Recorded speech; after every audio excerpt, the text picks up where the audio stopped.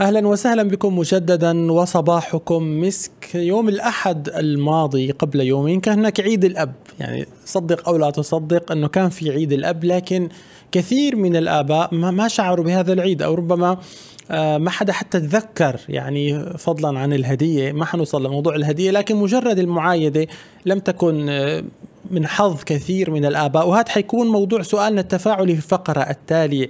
لكن الآن عنا معنا عبر الهاتف الأخصائية النفسية والتربوية ضيفتنا العزيزة علا شحادة. يسعد صباحك أنسة علا.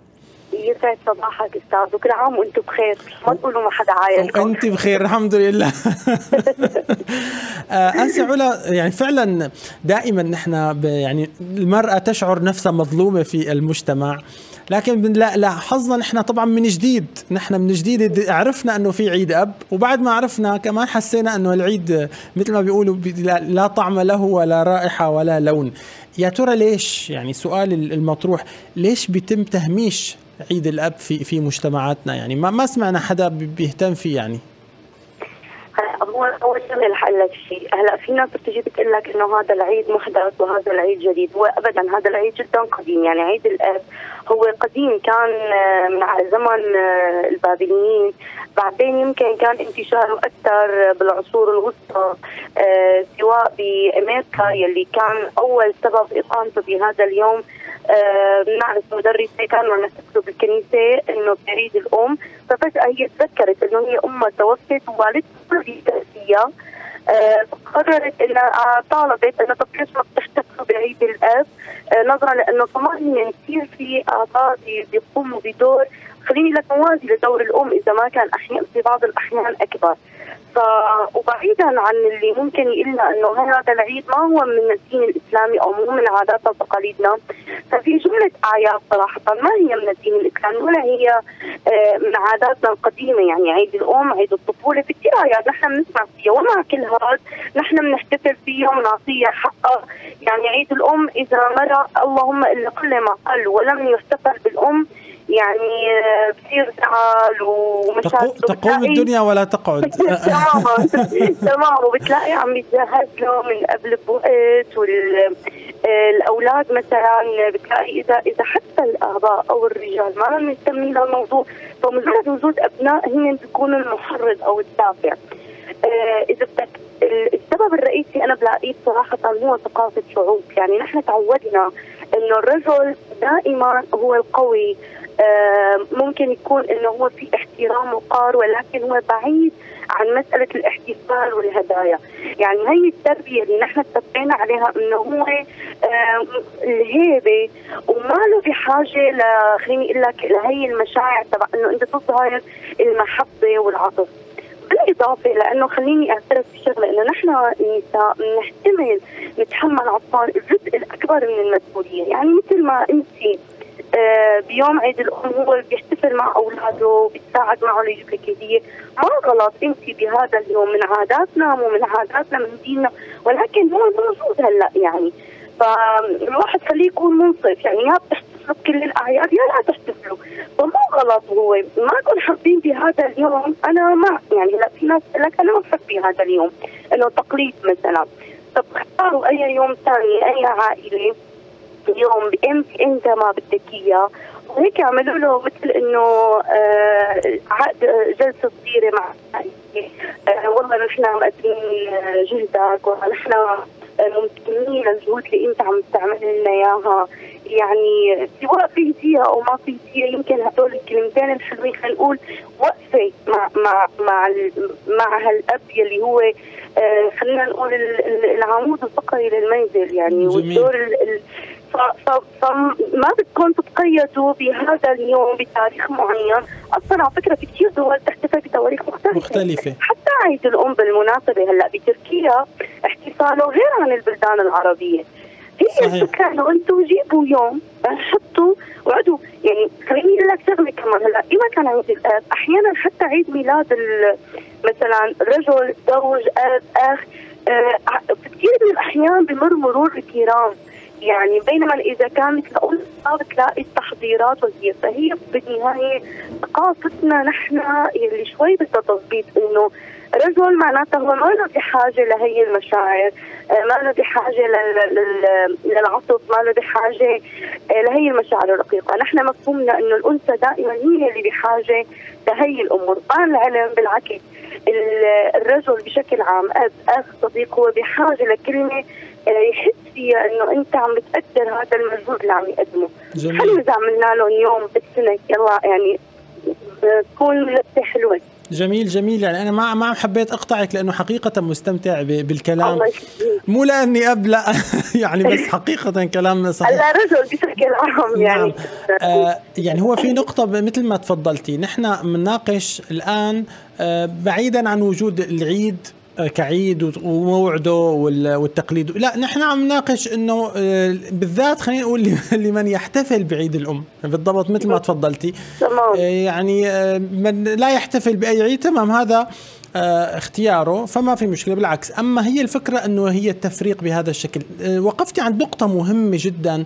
يعني عللتيها أنه هو إحساس مجتمع أنه هذا الرجل باعتباره هو الكائن القوي في المنزل فهو ما بحاجة لهذا الأمر. إلى أي مدى إلى أي مدى الرجل الرجل برأيك يعاني من هذه الفكرة؟ مو مو بس كعيد كفكرة أنه هو اللي دائما خلينا نقول آه بده يعني اللي لازم يكون قوي دائما ما بيصير يظهر ضعفه لا أمام أبنائه لا أمام زوجته. بالشغل بده يكون قوي بالبيت بده يكون قوي. إلى أي مدى هو يعني الرجل يتعب من من خلينا نقول التظاهر بدور القوي دائما؟ هو بالنهاية إنسان أكيد له نقاط ضعف واكيد هو بيحتاج أيضا لمن يشعر به. هلا هي أنا عم بقول لك للأسف الشديد ليش عم أقول إنه هي بترجع آه، ثقافة شعوب؟ ليش يعني بعيد إن شاء الله عن كل اللي عم يسمعنا؟ لماذا الرجل أو الرجال بشكل عام هن الاكثر عرضة للأمراض القلب والأمراض العصبية لأنه هن آه، مطالبين على طول بتحمل الضغوط اللي هي فوق الطاقة يعني بالنهاية هدول بشر وهي الثقافة المغلوطة تبع إنه الرجل ما بصير يظهر ضعف ما بصير يتعب ما بصير يقول أنا تعبت أو يناقش ما بصير يبكي طبعا إنه لطيف. لا هي هي منسية يعني ما ما بس إنه حتى ممنوع هو يقول إنه أنا تعبت أو أنا أمر بازمه يعني لكثير من العائلات بتلاقي مهما صار مع الرجل بالخارج قل ما قل يلي بيقعد بيتناقش مع زوجته أو مع أولاده إنه أنا مارر هالفترة بظروف معينة أنا بحاجة للمساعده من جميع الأطراف. لهذا السبب يمكن بتلاقي بالبلدان الثانية يعني مثلا خلينا نقول اللي هي آه الثقافة نوعا ما عندها مختلفة يعني خصوصا إذا كانت في توازي بالعمل حتى بمجال العمل بين الرجل والمرأة. فبتلاقي هاي بتقول له مثلا إنه أنا اليوم مريت ضغط كذا بظروف كذا. وهو أيضا متاح له إنه يحكي إنه يفضفض يقول هو شو مشكلته. وبرجع بقول لك يعني أنا ما بدي احكي حالنا نحن من المسؤولية كنساء مفروض واجبنا مهما كنتي أخت زوجة أم. آه المفروض ابني المفروض بكل يعني بين الفترة والثانية. آه حلو تحسسيه إنه انت قد إيه مقدره هذا التعب، الضغط عليه مثلا يعني الظروف اللي نحن بنمرق فيها ظروف قاسيه، حلو الواحد يحكي كلمة حلوة. معلش أزمة بتمرق. آه، لو هو ما حكى. يعني مثل يعني مثل ما نحن مثلا كثير أحيانا انت بتسمعي آه، إذا كنت تعبانة أو مرضانة تمام الله يعطيك العافية طولي بالك هلأ ممكن يجيني قسم من النساء يقول لك لا هن كمان ما بيقدروا. تعبنا ما بيقدروا قديش نحن بنشتغل برا. بس معلش خلينا نحن على طول نحن بنقول إنه الجنس الرقيق واللطيف والناعم وإلى آخره هي المسميات المطلقه على أنفسنا. طب معلش اظهروا لنا هي التسمية؟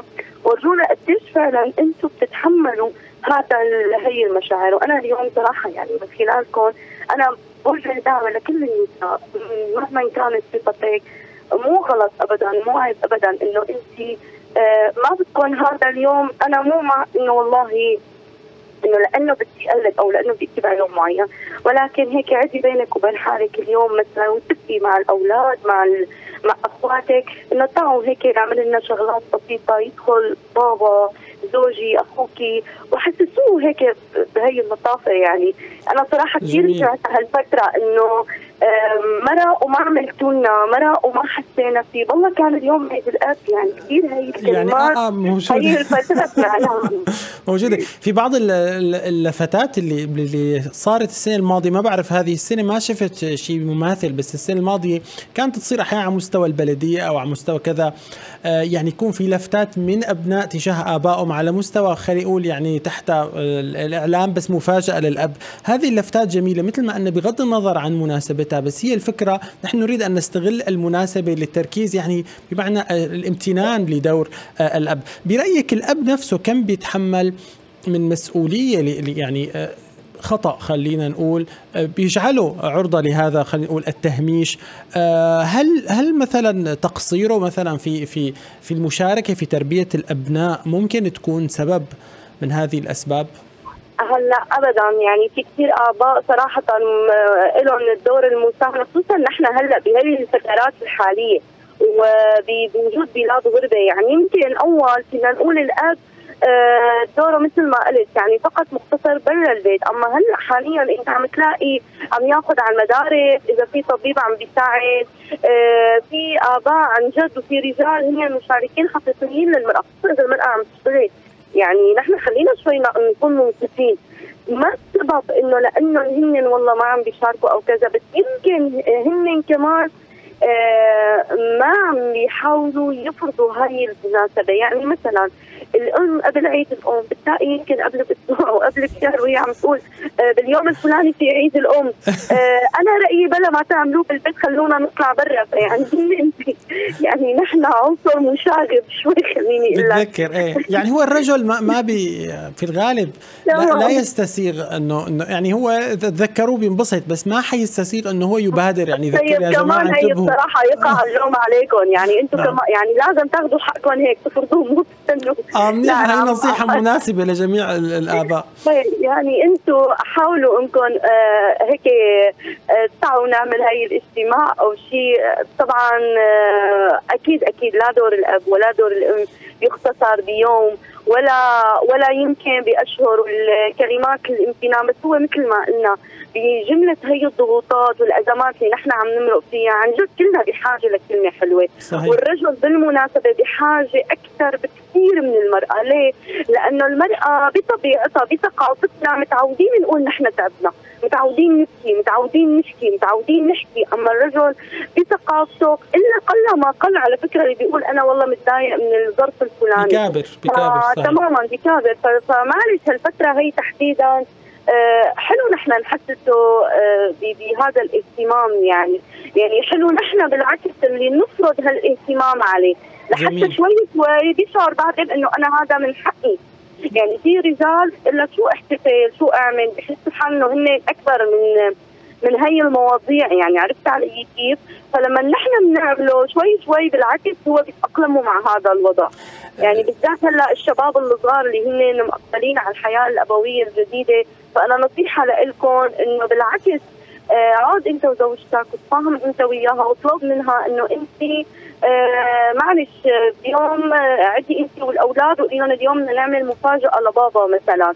ازرعوا هي الأفكار بعقول أطفالكم. يعني خلونا شوي نطلع من هي الثقافات القديمة والعادات القديمة. جميل لأنه أنا جميل. بقول لك يعني ما شاء الله ما شاء الله. نحن انفتحنا على كل شيء. ومنفتحين على جميع الأعياد. وفي أعياد ما أنزل الله بها من سلطان. وبنيجي عن شغلات فعلا هي آه يعني لفتات تربوية مهمة صحيح. تماما تماما. بتمس التراحم والتعاطف داخل الأسرة. وبننساها أستاذة علا بحجة إنه مو من عاداتنا يعني عرفت علي نعم نعم نعم. هي كمان الفكرة الغلط جميل جميل جدا. يعني هو الوقت تداركنا بس أنا بدي اسالك ولو في دقيقة مع إنه الموضوع يعني هو قد يكون ضخم بس هيك في دقيقة أو دقيقتين. الكثير أحيانا الأسرة عم تكون الأب إما في سفر في غربة في بلد آخر أو يعني لا سمح الله بيكون أب متوفي. الأم ماذا ستفعل لكي تعوض عن غياب الأب؟ هلا أنا لما بيكون الزوج مسافر أو غايب عني بأي سبب ما المفروض بالعكس أنا علي حمل مضاعف. يعني أنا آه، هلا صار في أنا على طول بقول لهم هلا ما عندكم عذر. بتفتحي كاميرا بتلاقي طريقة حتى هلا الهدايا صارت عم توصل من بلد لبلد. هي اللي حابب كثير يعني يبذل جهد. أما اللي ما بده يبذل جهد افتحي الكاميرا اجتمعي أنت والعائلة بالعكس قد إيه قصه حلوة. نحن استفقدنا لك نحن حاسين بغيابك. قد إيه أنت لك دور عظيم. قد إيه لك أنت آه يعني نحن مستفقدين يلا بس لا تيجي لعنا بدنا نحتفل هيك بس هلأ نحن هيك على التليفون.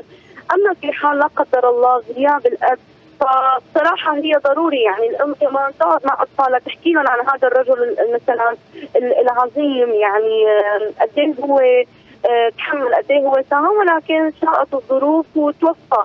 آه، فمثلا أحيانا بيكون في صبيان موجودين داخل الأسرة.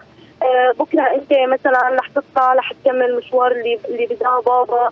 بدي اياك تكون مثله حنون وقوي. خلينا نزرع بعقول خصوصا الصبيان. الصبيان إنه أنت تترافق الميزتين الحنيه والقوة. جميل. ما يعني أنت رجل إنك مجرد من الحنون. سيد البشر الرسول صلى الله عليه وسلم يعني كان يمتلك من الحنيه ما تفوق البشرية كلها. جميل يعني جميل. مين قال الرجل ما في حنيه أنا بس هي الكلمة اللي بدي اوجهها اخر جميل ما جميل. معنى إنك رجل إنك مجرد من المشاعر والعاطفة.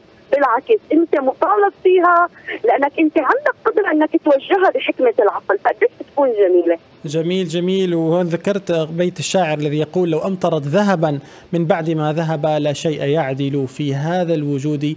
أبا آه الله يسعدك آه أستاذة علا. حقيقة يعني إضاءات كتير جميلة وكلام كثير هيك يثلج الصدر لكل أكيد الآباء اللي عم يسمعونا. أه بتمنى لك كل الخير وكل عام وكل الآباء وكل الأمهات وكل الأسر والأطفال بألف خير بإذن الله. شكرا شكرا لك. يا رب. أهلا وسهلا أهلا وسهلا بك. أحبائي المتابعين نخرج إلى فاصل قصير ثم نعود إلى السؤال التفاعلي. وهل شعرتم بعيد الأب؟ بعد الفاصل.